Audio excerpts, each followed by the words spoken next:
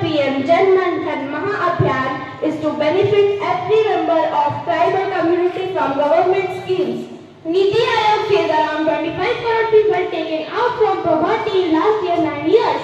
Now sports news. Karnataka's Prakhar Chaturvedi scores unbeaten 404 against Mumbai in Cooch Behar Trophy final. India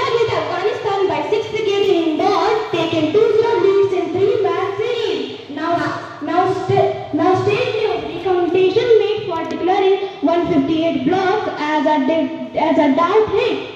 Now business news. Sensex closes above 73,000 and Nifty over 23,000 mark. Thank you. Have a glorious day.